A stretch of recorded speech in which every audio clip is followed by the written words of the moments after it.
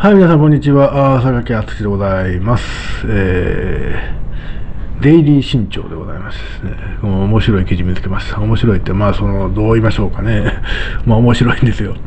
あの、地味な話なんですけどね。地味な話なんですけど、地味に面白い。えー、これは2月、えー、1月14日でございまして、ね、立憲民主終わりの始まり、点々点。連合新年交換会で起こった前代未聞の事件。維新に支持率で抜かれ、ネット番組への資金提供問題で内毛場は健在というタイトルでして、このね、まあその、えー、っと、支持率が抜かれたって話が最初出てるんですけど、ちょっと、うーん、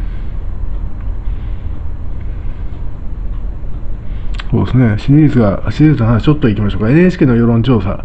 1月8日から11日によると、政党支持率は自民党が41.1%。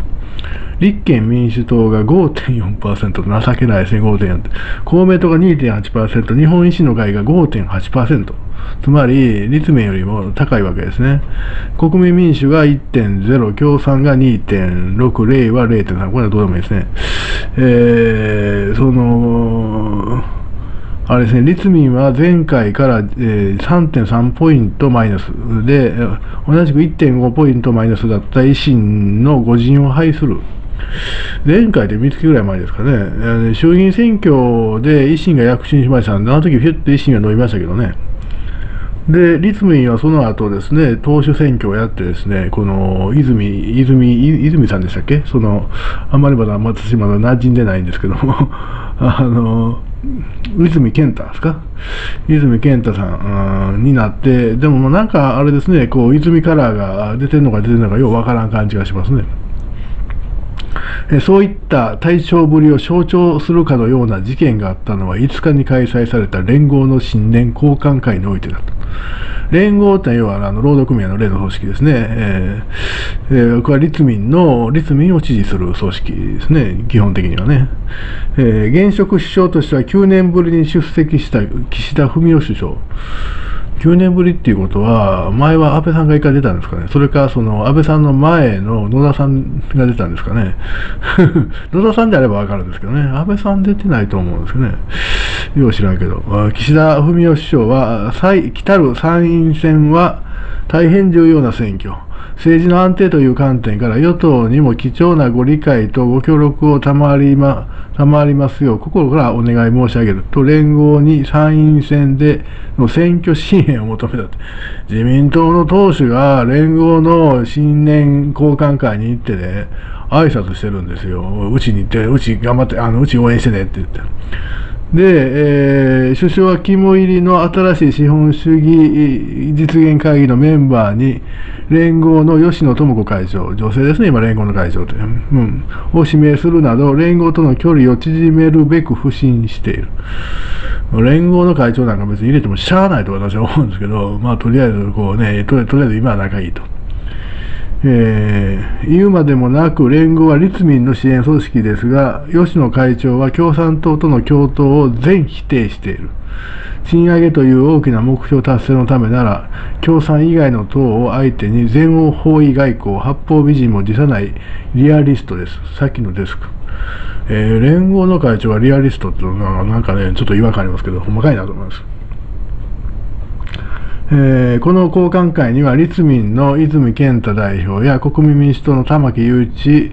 郎代表も出席していたが、司会者から来賓として紹介されただけで、壇上には上げてもらえず、もちろん挨拶も許されませんでした。ここがね、珍事です。つまり連合の新年交換会で 自民党の、え、岸田総裁、総理は挨拶したのに、立民の泉健太はあの紹介されただけで挨拶の機会が与えられなかった。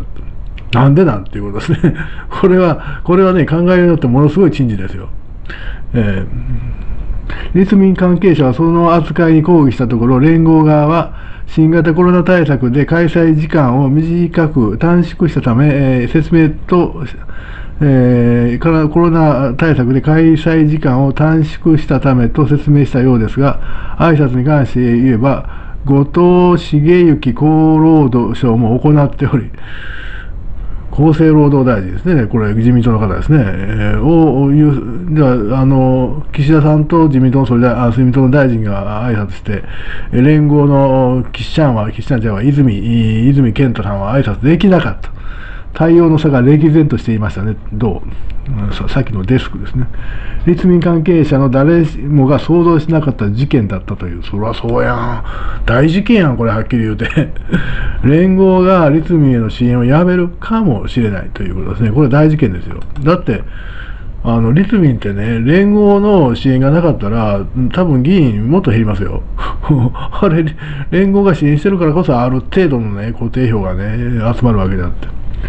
で、その後でですね、ちょっとこれもちょっとだけ読みましょうか。連合の吉野会長は壇上で、与党一強状態を打ち破り、二大政党的体制の下で、与野党が切磋琢磨する緊張感のある政治に避ければならない。などと泉代表を叱咤激励する言葉を投げかけたが、え、首相の連合へのラブコールを聞かされるだけで自身のアピールの場が与えられなかったことを泉代表がどう捉えてどう捉えるかでしょうね。かっこどうデスクですね。うんそのため絶好の場が柔軟市召集の通常国会のはずだはずだったが、また一つぬかるみが用意されていた。それは立民ネット、立民がネット番組制作配信を行う、チョーズライフプロジェクトに制作費として1500万円を支払ったことが明らかになった一件だと。これは何で悪いのかようわからないですけどね。えー、CLP ですね、このチョーズライフライフプロジェクトに出演していたジャーナリストらが抗議声明を出したことで、露見し、立民の西村ちなみ幹事長は会見で、支出は当時幹事長だった福山哲郎参院議員の判断だったと説明した。当時の管理長がやったって、一応立民としては金出してんやろうという、そのことについて説明せよということですね。西村氏は特定メディアに公党が資金をサポートすることで、世論を有利に誘導しようとしたのではないかという疑念を招いたことについて適切ではなかったとも語った。しかし、えー、泉執行部にとって悩ましいな問題がそれだけで収ま、とどまらない点だと。何なんそれは。CLP は資金難に陥っていた時期があり、ある制作会社の仲介を受け、立民とつながった。党が支出した金は1500万8270円ですが、まずは全額が広告代理店に支払われ、そこからこの制作会社にも手数料を抜かれた上で CLP に金が渡っているようです。普通手数料2割ぐらいは抜きますけどね、そういう場合。広告、広告業界の習慣としては。と取材する記者、式の流れは立民、えー、代理店制作会社 CLP という流れだ。うんややこしい迂回融資のようなやり方になったのは、世論調査との、世論誘導との批判をかいくぐるためだけでなく、この制作会社に金が行き渡る必要があったからでしょう。この会社は市民運動に関係する団体で、立民とも縁が深い。立民事務局のドンと呼ばれる人物と福山氏との間で練り上げられた活動が養成スキームとみられます。うーんまあでもこんなんようありがちなことで何が悪いのっていう感じですよね。えー、うん、まあまあそんな感じでもうちょっとあって終わってますけどもこの辺でやめときましょう。あの連合の吉野会長、最近、この1年ぐらいですよね、だから確か、1年半年ぐらいかな、え共産党がものすごくお嫌いな方でございますね。共産党の共闘嫌やっていうて。あの、なんて言いますかね、こう、ああの人たちの共産アレルギーっていうのは僕らより強い、普通の人間より強いんですよ。なぜかというとね、なんかね、多分ね、皆さんね、あの、同じ左翼の中でですね、その、どういうのかな、その、ちょっとした路線の違いでですね、えー、こう、対立したことがあったりした経験があるんでしょうね、きっとね。それで嫌な思いをされてる何かがあるんだと思います。だから毛嫌いする。で、左翼の方割と多いんですよ。共産党嫌いっていうのは。僕らから見たら、お前ら一緒やんと思うんですけど、彼らは彼らでものすごくね、やっぱり違うんですね。で、共産党にアレルギーを持っていない人もいるわけですね。さっきのあの、あれですね、立民作ったの例のあの、あのおっさんですね。とかはですね、別に共産党に対してアレルギーがないわけですね。でだから一緒にやるやという話になったんだと思いますけどね。うん、まあ、あの、この連合の、あ新年会でですね、挨拶させてもらえなかったというのはですね、これはこれはそんなことが過去にあったんかなという気、その代わり自民党の、自民党の岸田さんが挨拶した、総理総裁のあ岸田さんが挨拶してるって、何なんそれという、あの、